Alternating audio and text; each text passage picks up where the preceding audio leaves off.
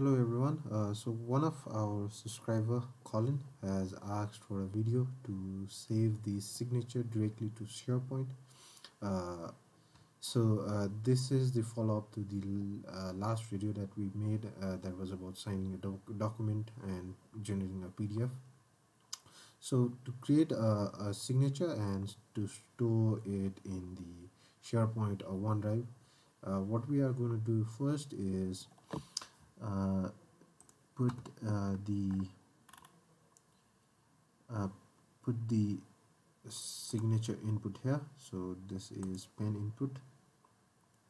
So in this uh, signature pad you can do the signature. So whatever you sign so uh, I'll, I'll, put uh, HTML text editor just to show whatever you write Uh, and we'll put a button. Uh, uh, so yeah. So this is a button. So if I put this is the name of the signature. And if I put it here dot image so this uh, gives you the uh, blob storage area of uh, this uh, whatever we scribble here. But what if what if uh, I put uh, on select? If I set a variable let's call it signature data the information from an input. One dot image.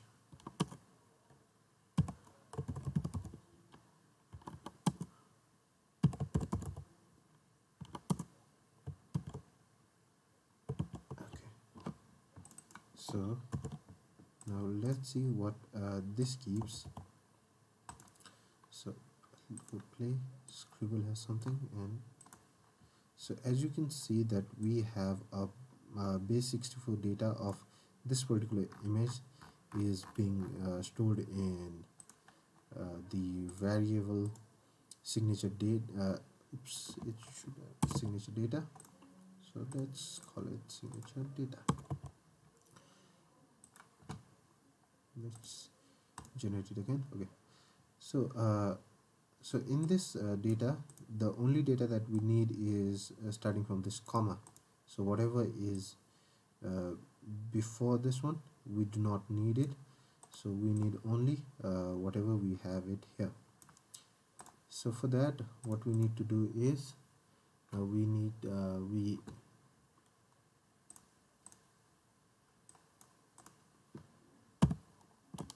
write a code where we store signature data.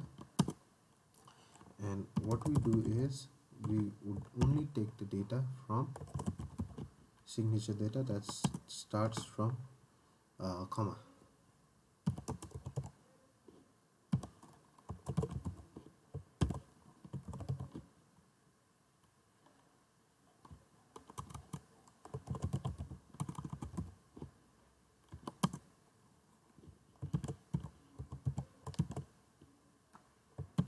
so what this does is in signature data uh, I'll get the data uh, starting from uh, IVBRO and rest of here will uh, will be neglected. So now uh, everything is done. Let's test it out again. See start from here now we need to create a flow that uh, creates the image and saves it in SharePoint or OneDrive or whatever you want. So what we need to do is we need to go to the action uh, click power automate uh, create a new flow. So there is there already can be flows here uh, which can be existing flows. But since we want to create our own uh, so let's just take this one and let's add a step. So we need a create file. Okay so uh, you can do it for SharePoint as well but I'm doing it for OneDrive. So it's creating. Okay so we need to define the folder path let's take root and so you can throw the file name from the PowerApp itself but just for this example um, okay let's just ask in PowerApps so I ask in PowerApps and file content we also get from PowerApps so what we can do is uh, this gives a good enough value but uh, this gives you uh, this content which is not very useful for creating a file. So it needs a, so it needs a, a base 64 uh, a binary data of uh, whatever content that you get from here. So I'll just cutting it. So I, I just press uh, control X and base 64 to binary. And inside it I pasted since I, we do not need the extra uh, curly braces. I'll just remove that. And press OK. So this things uh, converts the basic 64 data to binary and this gives you create file. And I just save it. Now since this is triggered from here I think it should appear yeah. So this one uh, is the flow that we just created and I just okay sorry oops. Let's just copy if just so that okay. Anyways so the name of the flow was I think oops damage has been done. So uh, since it over uh, replaced my previous code I cut it out so I'll just paste it. So the name of the flow is power apps button. Run and since you are passing uh, the data from here uh, if you go and pick code so you need to pass uh, oops there is some problem here. So uh, the we are just asking for we are just asking for create file uh, file name here. So power apps will pass only one data and if you want to get two data i'll need to click ask in power apps. So you'll just getting file name from power apps. But in this case we are getting file name as well as uh, base 64 uh, uh, data as well. So i can click ask in power apps. And then copy this one. Cut it. Okay sorry. Oops. Uh, so it's so I'll just cut it uh, and paste it again and remove this. And remove this curly braces as well and update it. And delete the previous one. So I have create file name and then another one. Create file underscore file name. So I think there are two now Oops. okay uh, I think it's still a problem. I'll just cut it. Um, uh, uh, okay I've just cut it and paste it again. Sorry.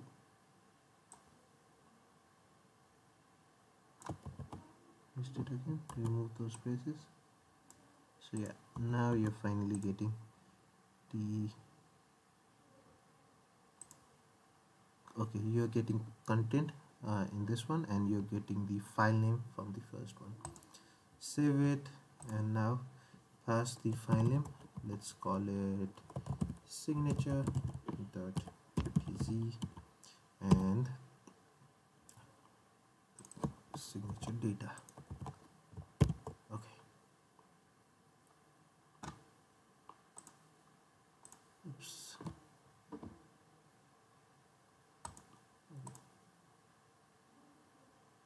so uh, it is expecting one but uh, we are throwing two. That's the error that it's showing. But I think it's something it should be fixed. I just uh, this should not have been a problem but it's a problem because we put uh, first uh, two data uh, just one data in the first try. So it's just showing. I think it should work though oops it's not working. So let's just go to power automate. Save it again. Hopefully the error will get fixed if I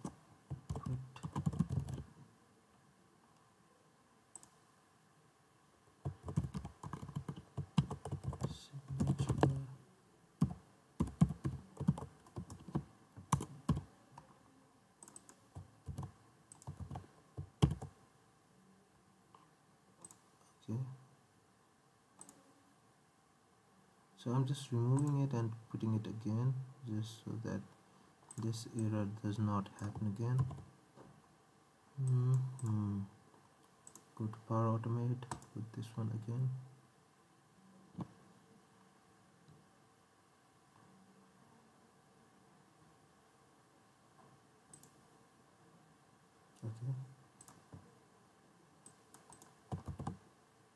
okay so now you see the error has been removed just because we have uh, updated some stuff here and it was not taking here. I remove it put it again and it stops showing. So I'll click the button. Uh, it's just generating the file here but uh, you can remove this part. And if you go here and see it running so it has already succeeded. Let's just check the flow